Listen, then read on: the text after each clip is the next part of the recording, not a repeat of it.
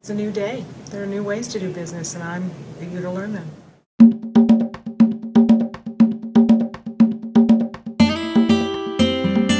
It was great. Now I'm feeling way more confident. It was um, it was terrific. Today gave us an outline of how we could use it to expand our business.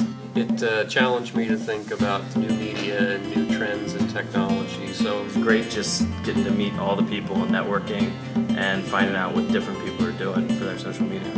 Today was like for me a way to sit down and really brainstorm about how these things would be applicable to my business. I found it very stimulating.